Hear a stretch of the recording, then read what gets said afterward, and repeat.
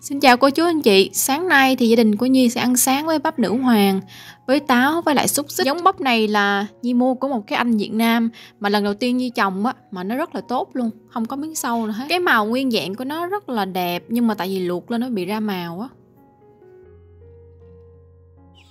Rồi sau khi ăn sáng xong bây giờ hai mẹ con ra ngoài này lụm trứng.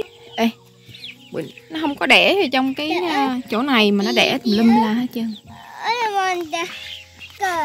Đây. Chú anh chị thấy không? Nó đẻ em lum la chứ Bây giờ Nhi Phải cào cái này ra. Hey. Trứng là xíu à.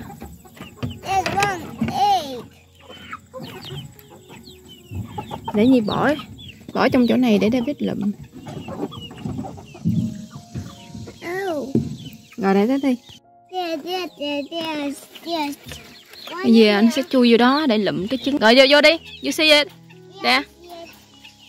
Gọi đi, vô lụm đi. Careful. Bao đau. Ok, Rồi đó. Đúng rồi. Rồi. Rồi đi ra. Mấy mấy si cứ job. Rồi, ra. Lấy trứng gà của nó nó la nè. Rồi đi ra. Ra mấy close the gate. Hồi nãy gì để đó cho anh lụm cho nó kiểu như là Rồi đi xuống nè hold it. Hold it and, and, and show daddy. nè hold you. Daddy in the house. Here. Hold it, hold it. Hold it. Here. Okay. Let me get the, the more.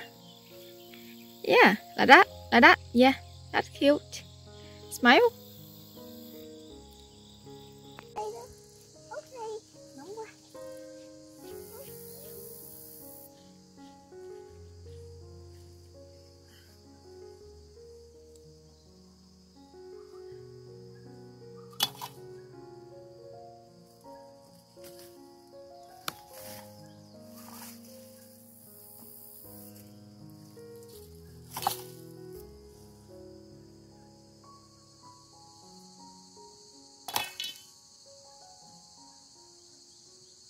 Rồi cô chú anh chị ơi, bây giờ thì như đeo qua này thu hoạch ba cái quế này nha. Quế này thì đã tới tới đợt cắt tỉa.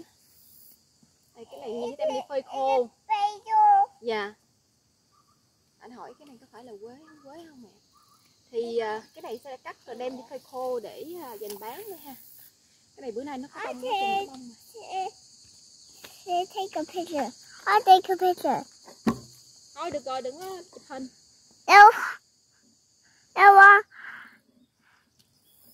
I will take, take, take a picture, mommy. Oops. Sorry. À, chụp hình cho mẹ. But now uh, I want to go go inside now. It's pretty hot. Anh nói để đi vô trong nhà ở ngoài này nóng quá. Vậy đòi hỏi. Rồi đi vô đi.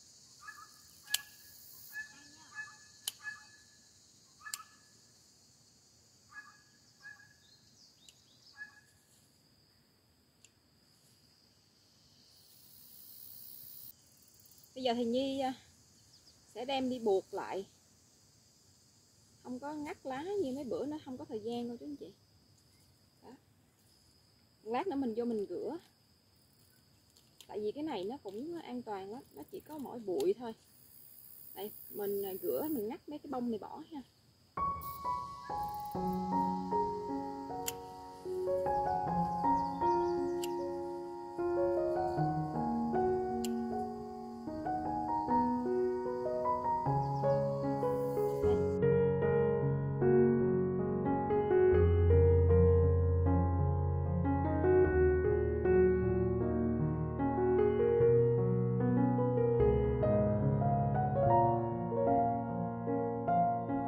Thu hoạch ba cái à, húng quế.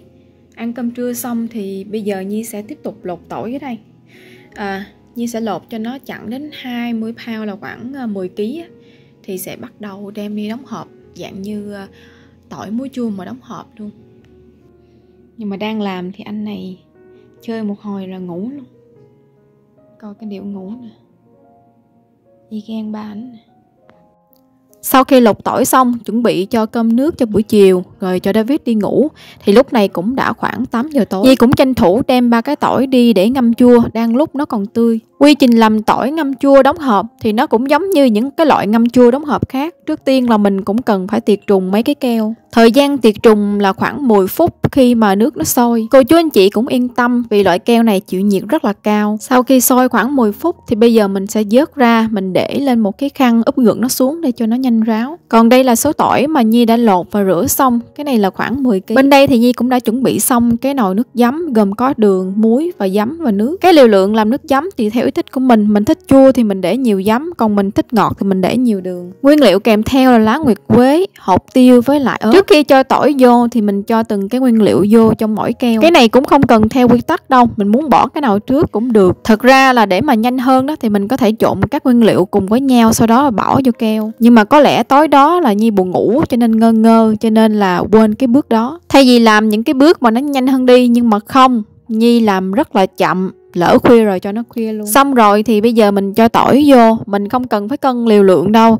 Nhưng mà tại vì nhi bán á, cho nên là nhi phải cân liều lượng để tính toán là mình lời được bao nhiêu. Khi mà cho tỏi vô thì mình cũng không nên cho đầy quá chỉ cái mức vừa đủ thôi. Còn nước giấm á, sau khi mà nấu xong thì mình nên để thật là nguội thì mình mới đổ vô keo mình cũng không nên đổ nước giấm nhiều quá, chỉ trên tỏi một chút xíu. Sau khi cho giấm vào tỏi xong rồi thì mình sẽ sử dụng một cái khăn nhúng vào nước giấm sạch để lau miệng keo. Làm như vậy thì trong quá trình mình đóng hộp nước sôi thì nước giấm ở trong keo nó sẽ không có bị trào ra. Và nắp nó được hít vào trong cái keo hơn. Sau khi lau miệng keo rồi thì mình sẽ đậy nắp lại. Mấy cái nắp tròn tròn này đó thì mình sẽ cần phải tuyệt trùng trong vòng 5 phút. Rồi bây giờ sẽ tới một cái lớp nắp nữa là cái dạng vòng tròn. Mình sẽ đẩy nó kín lại và không nên dặn nó chặt quá bây giờ là đến quy trình đóng hộp, mình sẽ để mấy cái keo này vô lại cái nồi nước đang sôi. Vì tỏi nó rất là nhanh chín, nếu mà mình muốn ăn nó giòn á, thì mình chỉ cần nấu nó khoảng 5 phút mà thôi. Sau 5 phút thì mình có thể vớt ra và để cho nó nguội và mình sẽ kiểm tra là nó có được siêu hay là chưa. Mà cái cảnh quay lúc lấy tỏi ra trở lại đó, hình như là nhi không có quay lúc đó như buồn ngủ hay sao á. Với cách làm này á, thì tỏi mình không cần bảo quản trong tủ lạnh, mình có thể bảo quản ở ngoài, ở nơi thoáng mát. Và đặc biệt là mình bảo quản được rất là lâu, nhưng mà mà để xem cái thành quả cũng như là bảo quản được bao lâu thì mời cô chú anh chị xem video vào ngày mai nha.